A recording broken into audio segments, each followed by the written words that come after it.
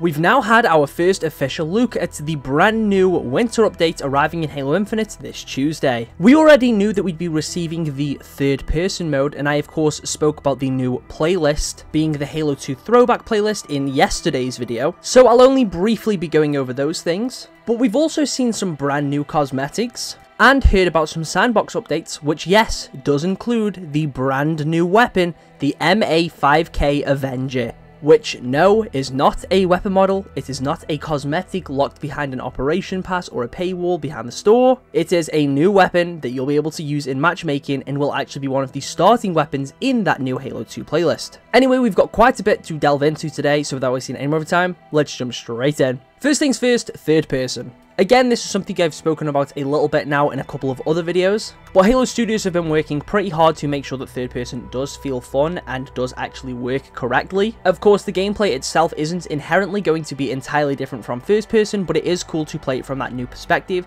and of course this will be something that you can utilize in Forge to make various new ways to play modes. Third person will initially be releasing with a firefight playlist where you'll have the option to either play the mode in first person through that own playlist, or you can try the new third person out separately. This will not just be a toggle that you can enable while playing a match. I know there's a few people that were worried that it would give you the, an advantage as you'd be able to peek around corners and stuff like that, but luckily this isn't going to be the case. You can either play first person modes or third person modes. But of course, as mentioned, this is something that you can toggle and mess around with in Forge and custom games too. Again, one of my favourite uses of it that have been shown so far was in a clip they showed of Juggernaut, where if you are not the Juggernaut, you are playing in first person, but as soon as you take them down and become the Juggernaut yourself, your camera then transitions to third person. I think stuff like this can help make modes feel really immersive and give them a bit more uniqueness. It'd be cool if in something like Infection, all the infected are playing in third person, but the survivors play in first person.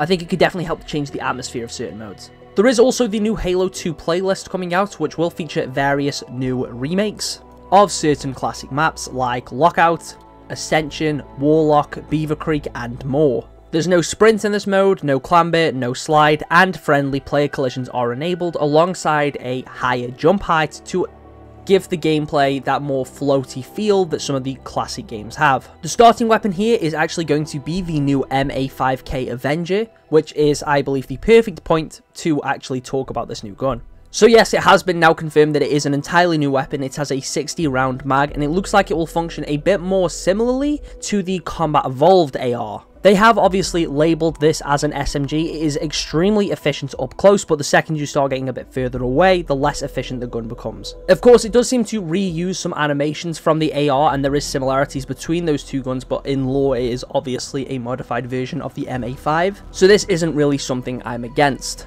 The two things I do hope for with the MA5K is that one, I would like it to be customizable. I would like to be able to equip coatings and stuff to it, especially if it is a starting weapon in certain playlists. And two, I would also like to see it get its own weapon variant, akin to like we've got with the Ravager Rebound, or the Longshot AR, and many, many others. It would be cool to have an entirely different version of this gun to use in Super Fiesta, and this would also be beneficial as it adds even more variety to the sandbox. They haven't said whether or not there will be a weapon variant, they also haven't said there won't be, but as of right now I've seen nothing to indicate that there will. Obviously when the Bandit Rifle released back in Season 3, that also didn't have its own weapon variant straight away, but they did later release the Bandit Evo, which to be fair isn't necessarily a super weapon variant, so I would still like to see that happen with the Bandit 2. Anyway, the Avenger looks extremely fun to use. They did, of course, show quite a bit of gameplay off with it. So I am really looking forward to trying this one out, and I am really glad it's not just a weapon model. I know there will obviously be some complaints in regards to this being the new weapon or being the only new weapon. Yes, it would be nice with the operation being called Great Journey to receive some kind of Covenant or Banished weapon like a plasma rifle or fuel rod cannon, or if they're going to do an SMG, you would think it would make more sense to just do the Halo 2 SMG. That would be a bit better for the theming. However, again, this is not something that I really have an issue with personally. I am completely fine with the MA5K being the new weapon, because personally, I'm just happy to have a new sandbox item. Anyways, finally, let's talk about some of those new cosmetics. First of all, we have the Mark 6 armor kit.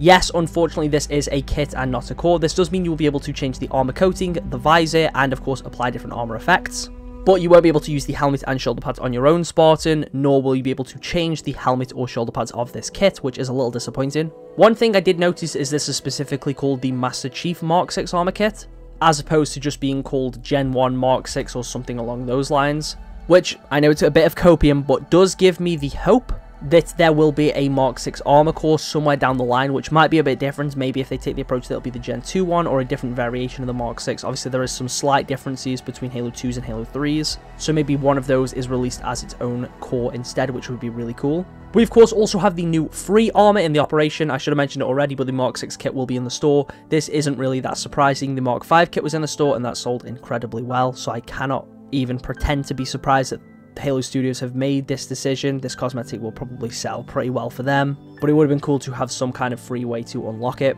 But speaking of free armor, of course, we do have a new Operation Pass, and this is where you unlock the armor based on Halfjaw. The purchase bonus for this Operation Pass is the new Sniper model, which is of course also based more so on the Halo 2 sniper, and this looks really cool. It does also come with a coating, I believe. But the other things you unlock in this operation are of course the new half-jaw helmet. There's also a chest attachment for the Mark 7 core, which just makes your body look much more like an elite's armor. There is also a new armor coating, which looks spectacular, alongside some shoulder pads and knee pads. The helmet does also come with a helmet attachment, which is an interesting one to say the least. Overall, seems like a decent Operation Pass, but again, I do feel like ever since they introduced spawn points, the Operation Passes themselves have become a bit more underwhelming in terms of the overall content that is actually unlocked for them, because instead you get a bunch of spawn points, which can go, go towards some of the new stuff in the exchange, but the exchange doesn't always have new releases. So for someone like me who has unlocked almost every old event or item and ultimate reward, there, is a, there isn't really a ton to spend the spawn points on. We didn't see anything that will be in the exchange with this update, but I would wager that we're getting the return of some of the tactical ops items, as you can see a Spartan with the Scorpion Punch and the Mark V Zeta on the banner for the event. There is also some other new cosmetics coming to the store, including the return of the Helioskrill armor set, of course a fan favorite from Halo 5, shares a lot of similarities with the Arbiter's armor, and it actually does come with a helmet attachment, which makes the helmet look more akin to the Arbiter's. This armor set does look pretty cool, it'll be in a super bundle alongside the Mark 6 kit and some of the new Chimera armor which is releasing, which is also based on 343 Guilty Spark